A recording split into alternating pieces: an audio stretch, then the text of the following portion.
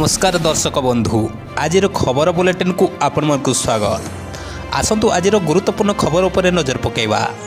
Number ଏକ ଆଶାରାମ ବାପୁଙ୍କୁ ଆଜୀବନ କାରାଦଣ୍ଡାଦେଶ ବିବାଦୀୟ ଧର୍ମଗୁରୁ ଆଶାରାମ ବାପୁଙ୍କୁ ମଙ୍ଗଳବାର ଗାନ୍ଧୀନଗର କୋର୍ଟ ଆଜୀବନ କାରାଦଣ୍ଡାଦେଶ ଘୋଷଣା କରିଛନ୍ତି। ଦୁଇହଜାର ତେର ମସିହାର ଏକ ଦୁଷ୍କର୍ମ ମାମଲାରେ କୋର୍ଟ ତାଙ୍କୁ ଉକ୍ତ ଦଣ୍ଡାଦେଶ ଦେଇଛନ୍ତି। ମଙ୍ଗଳବାର ଏହି ମାମଲାରେ ଦୈରା ଜଜ୍ ଡି କେ ସୋନି ଛଅ ଅଭିଯୁକ୍ତଙ୍କୁ ଖଲାସ କରିଥିବା ବେଳେ ଆଶାରାମଙ୍କୁ ଦୋଷୀ ସାବ୍ୟସ୍ତ କରିଥିଲେ। ଖଲାସ ହୋଇଥିବା ଅଭିଯୁକ୍ତଙ୍କ ମଧ୍ୟରେ ଅଛନ୍ତି ସ୍ତ୍ରୀ ଲକ୍ଷ୍ମୀବେନ୍ କନ୍ୟା ଓ ଅନ୍ୟ ଚାରି ଶିଷ୍ୟ। ପରବର୍ତ୍ତୀ ଖବର ଆନ୍ଧ୍ରପ୍ରଦେଶର ରାଜଧାନୀ ବଦଳିଲା।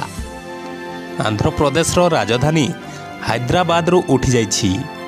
ଏବେ ଏହାର ନୂତନ ରାଜଧାନୀ ଭାବେ ବିଶାଖାପାଟଣାକୁ ବଛାଯାଇଛି। ପ୍ରାକୃତିକ ସୌନ୍ଦର୍ଯ୍ୟରେ ଭରପୁର ବିଶାଖାପାଟଣା ସହରକୁ ରାଜ୍ୟର ମୁଖ୍ୟମନ୍ତ୍ରୀ ଜଗନମୋହନ ରେଡ୍ଡି ନୂତନ ରାଜଧାନୀ ଭାବେ ନାମ ଘୋଷଣା କରିଛନ୍ତି। ପରବର୍ତ୍ତୀ ଖବର ପୂର୍ବତନ କେନ୍ଦ୍ର ଆଇନମନ୍ତ୍ରୀଙ୍କ ପରଲୋକ। ଦେଶର ଜଣାଶୁଣା ଓକିଲ ତଥା ପୂର୍ବତନ ଆଇନମନ୍ତ୍ରୀ ଶାନ୍ତି ଭୂଷଣଙ୍କ ମଙ୍ଗଳବାର ପରଲୋକ ଘଟିଯାଇଛି। ମୃତ୍ୟୁ ବେଳକୁ ତାଙ୍କୁ ସତାନବେ ବର୍ଷ ବୟସ ହୋଇଥିଲା।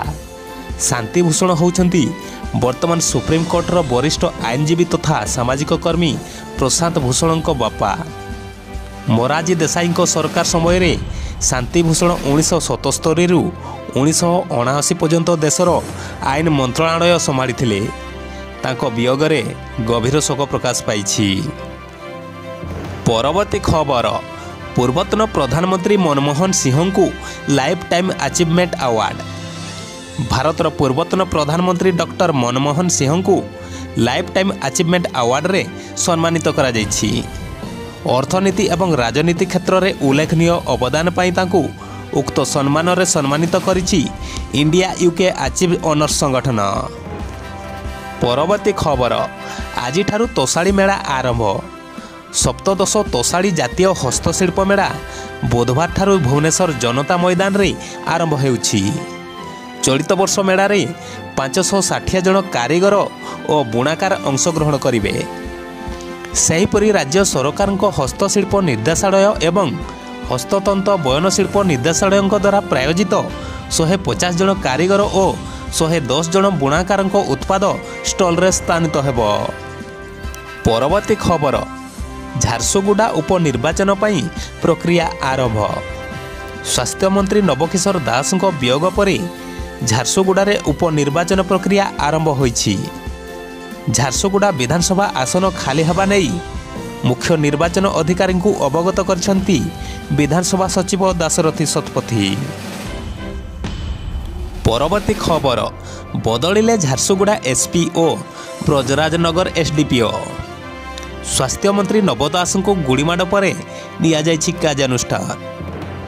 ଝାରସୁଗୁଡ଼ାର ଏସ୍ପି ରାହୁଲ ଜୈନଙ୍କୁ ବଦଳି କରାଯାଇ ତାଙ୍କ ସ୍ଥାନରେ ପରମାର ସ୍ମିଥ ପୁରୁଷୋତ୍ତମ ଦାସଙ୍କୁ ଅବସ୍ଥାପିତ କରାଯାଇଛି। ସେହିପରି ଝାରସୁଗୁଡ଼ା ବ୍ରଜରାଜନଗର ଏସ୍ଡିପିଓ ଗୁପ୍ତେଶ୍ୱର ଭୟଙ୍କୁ ମଧ୍ୟ ବଦଳି କରାଯାଇଛି। ତାଙ୍କୁ କଟକ ପୋଲିସ ମୁଖ୍ୟାଳୟକୁ ବଦଳି କରାଯାଇଥିବା ବେଳେ ଆଠମଲ୍ଲିକ ଏସ୍ଡିପିଓ ଚିନ୍ତାମଣି ପ୍ରଧାନଙ୍କୁ ବ୍ରଜରାଜନଗର ଏସ୍ଡିପିଓ ଦାୟିତ୍ୱ ମିଳିଛି। ପରବର୍ତ୍ତୀ ଖବର ଆପାର୍ଟମେଣ୍ଟରେ ଅଗ୍ନିକାଣ୍ଡ ଚଉଦ ଜୀବନ୍ତ ଦଗ୍ଧ। ଝାଡ଼ଖଣ୍ଡର ଧାନବାଦ ସ୍ଥିତ ଏକ ଆବାସିକ କୋଠାରେ ଅଗ୍ନିକାଣ୍ଡ ଘଟି ମଙ୍ଗଳବାର ଚଉଦ ଜଣଙ୍କ ମୃତ୍ୟୁ ଘଟିଥିବା ବେଳେ ଅନେକ ଆହତ ହୋଇଛନ୍ତି। ସେଠାରେ ଉଦ୍ଧାର କାର୍ଯ୍ୟ ଜାରି ରହିଥିବା ବେଳେ ମୃତ୍ୟୁ ସଂଖ୍ୟା ବୃଦ୍ଧି ପାଇବାର ଆଶଙ୍କା ରହିଛି। ଆଶୀର୍ବାଦ ଟାୱାର ନାମକ ଉକ୍ତ ଆପାର୍ଟମେଣ୍ଟର ଷଷ୍ଠ ଓ ସପ୍ତମ ମହଲାରେ ନିଆଁ ଲାଗିଯାଇଥିଲା। ଗ୍ୟାସ୍ ସିଲିଣ୍ଡର ଫାଟି ଅଗ୍ନିକାଣ୍ଡ ଘଟିଥିବା କୁହାଯାଉଛି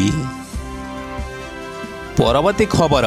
ବିଦ୍ୟୁତ ଶୁଳ୍କ ବୃଦ୍ଧି ଆଶଙ୍କା ଆଗାମୀ ଓଇଆର୍ସି ବୈଠକରେ ବିଦ୍ୟୁତ ଶୁଳ୍କ ବୃଦ୍ଧି ଆଶଙ୍କା କରାଯାଇଛି ଆସନ୍ତା ଫେବୃଆରୀ ତେର ଚଉଦ ଓ ପନ୍ଦର ତାରିଖରେ ଓଏଚ୍ପିସି ଓପିଜିସି ଓପିଟିସିଏଲ୍ ଓ ଗ୍ରିଡ୍କର ବାର୍ଷିକ ରାଜସ୍ୱ ଆବଶ୍ୟକତାକୁ ନେଇ ଓଡ଼ିଶା ରାଜ୍ୟ ବିଦ୍ୟୁତ ନିୟାମକ ଆୟୋଗ ପକ୍ଷରୁ ଜନଶୁଣାଣି ହେବ ଉକ୍ତ ଜନଶୁଣାଣିରେ ଦୁଇହଜାର ତେଇଶ ଚବିଶ ଆର୍ଥିକ ବର୍ଷ ପାଇଁ কোম্পানিগুড়ি বিদ্যুৎ শুল্ক বৃদ্ধি করা সম্ভাবনা রয়েছে বর্তমান ইউনিট পিছা তিন টঙ্কা গ্রাহক মানে দেওয়া বেড়ে গ্রিডক পক্ষ বিভিন্ন আবন্টন কোম্পানি যোগাই দেওয়া বিজুড়ি ইউনিট পিছা তিন টঙ্কা অশী পয়সা বৃদ্ধি করা প্রস্তাব দিয়েছে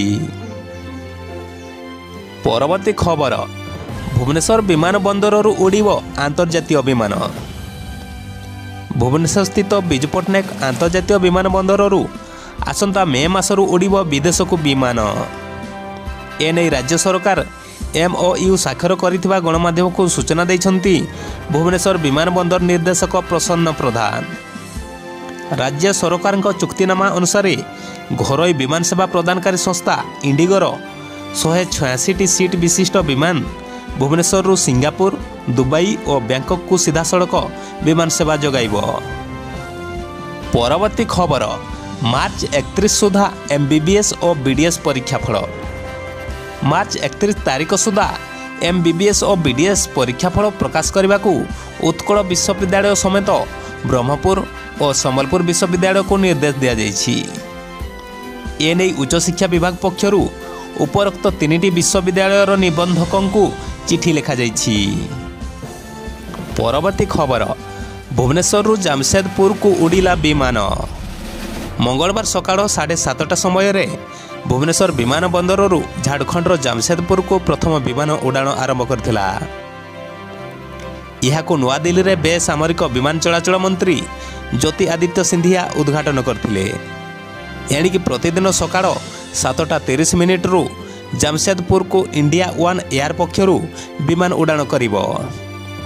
ଭୁବନେଶ୍ୱରରୁ ଜାମଶେଦପୁରକୁ ଭଡ଼ା ବାବଦରେ ଦୁଇ ହଜାର ନଅଶହ ଅନେଶତ ଟଙ୍କା ପଡ଼ିବ। ଭୁବନେଶ୍ୱରରୁ ଜାମଶେଦପୁରକୁ ଏକ ଘଣ୍ଟା କୋଡ଼ିଏ ମିନିଟ୍ ସମୟ ଲାଗୁଛି। ପରବର୍ତ୍ତୀ ଖବର। ଆସନ୍ତୁ ଜାଣିବା କ୍ରିକେଟ ଖବର। ଆଜି ଅନ୍ତିମ ଟି ଟ୍ୱେଣ୍ଟି ବୁଧବାର ଭାରତ ଏବଂ ନ୍ୟୁଜିଲାଣ୍ଡ ମଧ୍ୟରେ ଟି ଟ୍ୱେଣ୍ଟି ଶୃଙ୍ଖଳାର ତୃତୀୟ ତଥା ନିର୍ଣ୍ଣାୟକ ମ୍ୟାଚ୍ ଅନୁଷ୍ଠିତ ହେବ। ମ୍ୟାଚ୍ ଭାରତୀୟ ସମୟ ସନ୍ଧ୍ୟା ସାତଟାରୁ ଆରମ୍ଭ ହେବ। ଆଜିର ଖବର ବୁଲେଟିନ୍ ଏତିକିରେ ଶେଷ ହେଲା। ଆସନ୍ତାକାଲି ପୁଣି ନୂଆ ନୂଆ ଖବର ସହ ଆପଣଙ୍କ ସାମ୍ନାରେ ଉପସ୍ଥିତ ରହିବି। ସେତେବେଳେ ପର୍ଯ୍ୟନ୍ତ ବିଦାୟ ନେଲି। ନମସ୍କାର। ଆଜିର ଦିନଟି ଆପଣଙ୍କ ପାଇଁ ସୁଖମୟ ହେଉ।